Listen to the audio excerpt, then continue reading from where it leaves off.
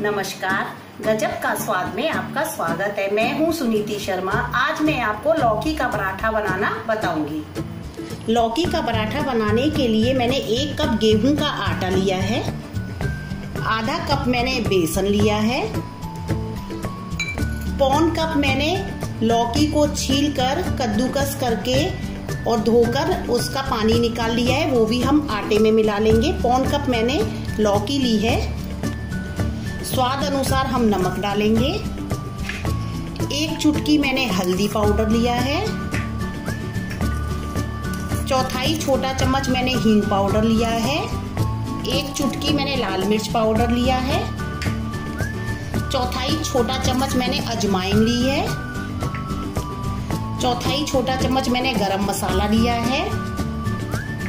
आधा छोटा चम्मच मैंने चाट मसाला लिया है। एक छोटा चम्मच मैंने कसूरी मेथी ली है। दो दो चम्मच मैंने बारीक कटा हुआ हरा धनिया लिया है। आधा चम्मच मैंने अदरक को पीस लिया है। अब हम इस आटे को अच्छे से गूंदेंगे। इसको हम पराठे के आटे की तरह ही गूंदेंगे। और इसके ऊपर थोड़ा सा हम तेल लगाकर आधे घंटे के लिए ढककर रख देंगे। आटा को गूंदे हुए आधा घंटा हो चुका है। देखिए, हमारा आटा अब अच्छे से हो गया है। अब हम इस आटे को दो से चार मिनट तक अच्छे से मलेंगे। आटा हमारा तैयार हो गया है। अब हम इसके पराठे बनाएँगे। तवा हमने गरम करने रख दिया है। जब तक हम अपना पराठा तैयार करते हैं, देखो। ये हाथ में मैंने तेल लगा लिया है। अब हम पराठे के लिए थोड़ा सा आटा लेंगे। उसमें हम सूखा आटा लगाएँगे और पराठे को बेलेंगे, जैसे हम नॉर्मल घर में पराठा बनाते हैं। थोड़ा सा बेलकर बीच में हम थोड़ा सा तेल लगाएँगे और इसको फिर से ऐसे फोल्ड करेंगे।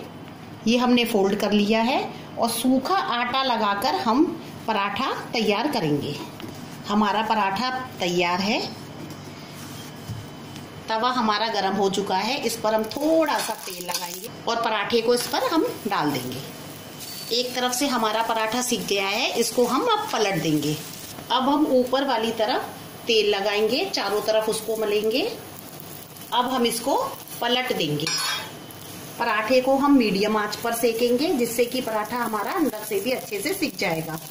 ये हमारा पराठा सिक चुका है। अब हम इसे एक प्लेट में निकालेंगे। अब इसको हम चार पीस में कट कर देंगे। ये पराठा हमारा सर्व करने के लिए तैयार है। ये मैंने बंधा हुआ दही लिया है। इसे हम दही के साथ सर्व करेंगे। इसमें स्वाद अनुसार हम नमक डालेंगे। एक चुटकी मैंने पिसी हुई काली मिर्च ली है, वो हम डालेंगे और पुदीने पत्ते से हम इसकी गार्निशिंग करेंगे। ये पराठा हमारा सर्व करने के लिए बिल्कुल तैयार है। लीजिए, तैयार है हमारा हेल्दी लौकी का पराठा, वो भी दही के साथ।